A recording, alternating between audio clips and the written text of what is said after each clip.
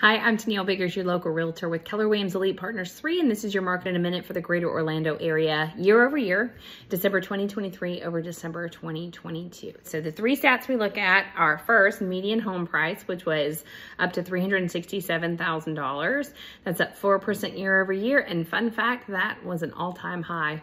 So there's that little tidbit. Uh, the average home price is really what we feel as the consumer. That was $451,000, which really feels like a bargain because values have increased so much over the last few years. So that one makes much, makes more sense. Um, sales, we had 2,000 properties that closed this last month. That's down 11% year over year. And we had 7,800 properties that were available for sale. That's up 23% year over year, um, which leaves us with four months of supply. So just a reminder, when we have enough properties on the market to meet demand for the next six months, um, then that means that we are in a balanced market. We're at four months, so we're still in a seller's market at this point. Still a good time to sell. Buyers' interest rates have dipped down a little bit coming out of the end of 2023, starting in 2024.